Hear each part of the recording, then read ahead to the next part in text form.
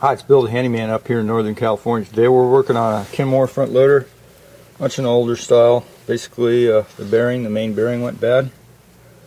Um, in order to take it apart, you're going to have to do the obvious, of course. A couple of nuts up here that hold the uh, top mount spring in place. Also, there's a seal. Sometimes you have to cut these seals off.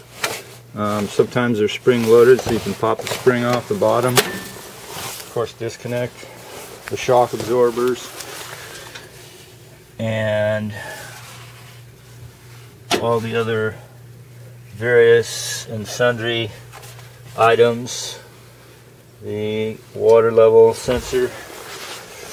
So this one we're having a, a tricky time trying to get this pulley off the back.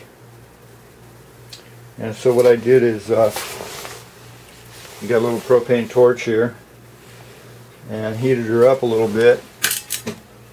Uh, they don't make pulleys that fit that very well. You might be able to get one from Sears for about 20 or 30 bucks, but I couldn't find one at any generic store that would fit it, so I had to kind of ad lib with a couple of crowbars. And so I just heated it up.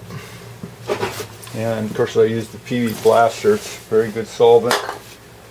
Heated it up, and sometimes you can stick the nut in here halfway or three quarters of the way and start pounding on it while you got some pressure on it. I put pressure on it with various tools. And then we're going to put the, uh, we got the new tub here, about 300 bucks or so from Sears.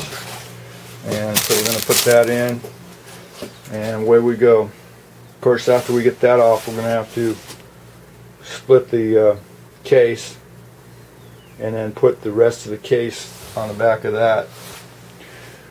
So thanks for watching. If you need any uh, appliances repaired, give me a call 707-443-8347 or email applianceworks.webs. Uh, that's my website. Uh, appliance-works.webs.com and my email is applianceworks.yahoo.com.